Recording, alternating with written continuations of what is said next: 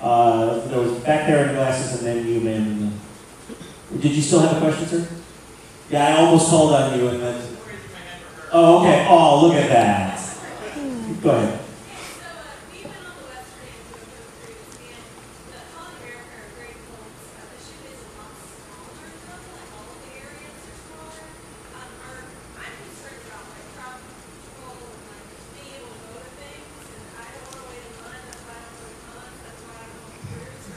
The question is, are we going to be able to do the programming on the Westerdam where it won't be a horrible train wreck of, of uh, colliding and the con like waiting in line experience? That was like the first thing that we needed to make sure we'd be able to handle. We'll actually be able to consult with a number of people who run some of the best cons uh, to get their input about it. And all And that's working on that. part of the philosophy of the way we are thinking about structuring things, looking at some of the existing uh, event cruises and the way they schedule things. There will probably be a lot more experiences of several things going on at once. And that's, cons do that, and, and festivals and such do that for a reason. Just, you know, it, it sucks that your two favorite people are performing at the same time.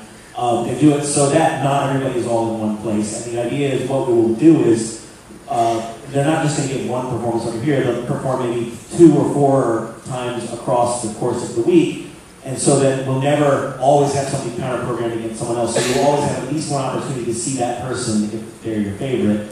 Uh, but enough things are happening in different places that it won't be a case of 900 people trying to get into a 200 person room. Now, that said, uh, we are hoping to avoid it. We probably will run into something like that at one time as we're, as we're trying to sort these out, these, these things out. We're going to put a very, trust us, we're going to put a great deal of thought into getting the appropriate sized events into the appropriate sized rooms for that. We will likely also have scheduled times where there's nothing going on, so that there is something nice about just kind of relaxing and seeing. But obviously, we don't want to do that entirely, or you just go on a regular cruise. Well, well, I'll tell you, but on that note, can we make sure we have an ability to create a schedule, hopefully offline? Because if there's so much stuff going on, it's going to be really more important to track when stuff is, so you don't, you know, miss Yes. Um, out.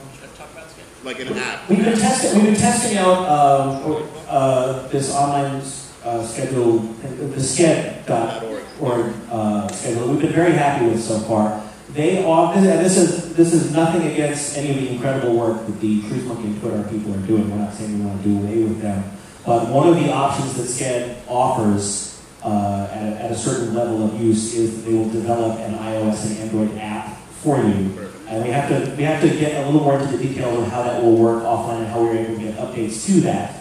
But that is currently what we are considering and expecting to do, just so we can avoid these potential uh, unexpected uh, headaches that we've run into this year. Uh, but we absolutely, that said, you know, that we still love the, um, the, the social media aspect of Twitter that people uh, really enjoy using. Um, and, and such. We don't, uh, we don't plan to replace those necessarily, but we may put the schedule aspect especially on its own uh, uh, like that. There was a question over here, so.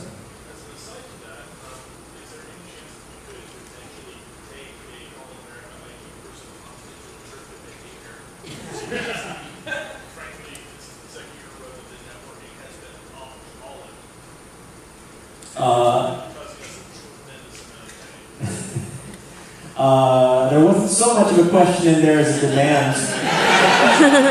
Which, believe me, we hear you. We understand. Uh, you know, this is.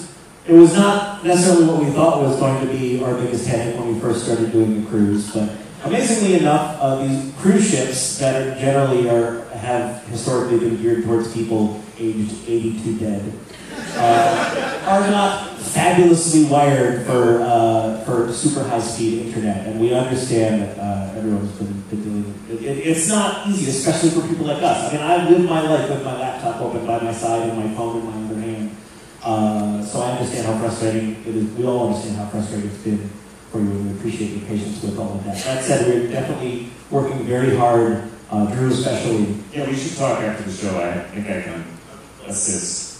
Are you guys gonna, gonna plan the heist to kidnap the IT? You're gonna have to name thing? Yeah, I brought a card out here. so. Yeah.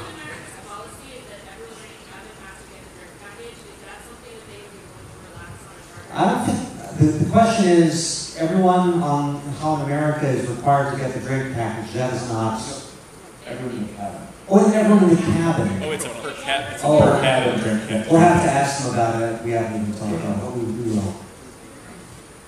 Uh, the Blue Stripe, Blue Light, Dark Stripes. Uh, you mentioned possibly having some channels for TV. Do possibly have a channel dedicated to showing an updated schedule? In case. That is, that is a matter of fact, one of the things we are hoping is planning to be a part of that, is to, is to make, yeah, because, uh, obviously, as we've been running into this year, uh, we want everyone to have as much access to know the updated schedule as possible, especially because in our unique situation with the Shadow Cruise especially, our schedule updates every day. Uh, and one of the things we are hoping is to make, you know, if we can get a TV channel just with that information. Uh, even if we just take a camera and point it at a computer that is running That's the job. Try to